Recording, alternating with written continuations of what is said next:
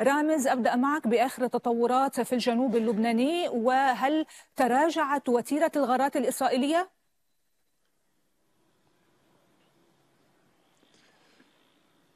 يمكن القول أن هذه الغارات آه، التي تنفذها المقاتلات الحربية تراجعت نسبيا لكن ما تلبث هذه المقاتلات الحربية أن تغادر الأجواء اللبنانية حتى تعود منذ بعض الوقت. كان هناك غارة على بلدة الطيبه أيضا في قضاء النبطيه تركز اليوم المقاتلات الحربية من غاراتها ومن قصفها في هذه في قرى وبلدات النبطيه وكذلك استهدف استهدفت مباشرة لأكثر من مرة. مدينة النبطية اليوم وهي أكبر المدن السكانية آه، في الجنوب أو أحدى أكبر المدن السكانية في الجنوب. إضافة إلى بلدة الطيبة أيضا منذ بعض الوقت استهدفت بلدة كفرسير أيضا كفرسير أيضا في هذا القضاء وأيضا في قضاء آه، مرجع عيون آه، استهدفت أيضا بلدة دير سريان. وأيضا كان هناك غارتان إسرائيليتان منذ بعض الوقت على بلدة كفركلا الحدودية. فضلا عن استهداف أحدى البلدات على الحافة الأمامية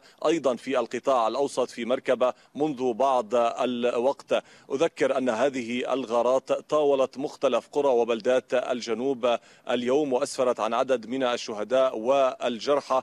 أيضا كان هناك مجزرة في بلدة شبعة. لأول مرة تستهدف بلدة شبعة بهذا الشكل العنيف وتؤدي إلى وقوع هذه الخسارة الكبيرة في أرواح المدنيين في عائلة بأكملها نتيجة هذه الغارة الإسرائيلية. إضافة إلى ذلك كان هناك أعلن حزب الله منذ بعض الوقت أنه أيضا قصف موقع بياض بليدة. إضافة إلى رشقتين صاروخيتين أعلن في وقت سابق في بيانين منفصلين أنه استهدف مدينة طبرية. إضافة إلى ذلك هناك استمرار لترقب على هذه الحدود وتخوف من استمرار هذه العمليات في ظل التهديدات الإسرائيلية. باستمرار هذه الغارات الجوية. هذا يدفع أيضا بعدد كبير من أهالي الجنوب إلى النزوح سواء إلى العاصمة بيروت أو إلى مناطق أكثر أمنا في آه، آه، القرى الجنوبية لسيما باتجاه مثلا مدينة صيدا. لكن حتى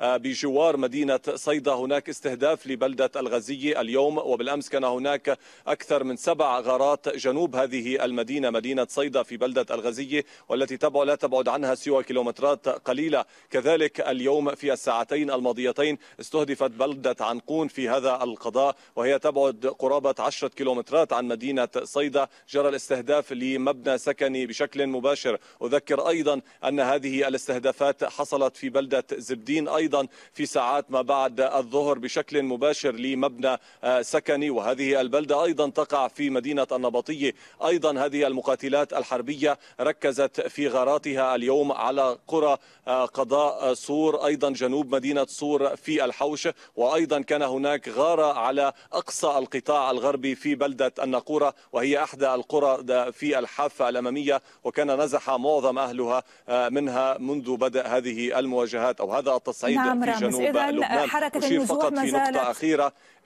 نعم نعم تفضل.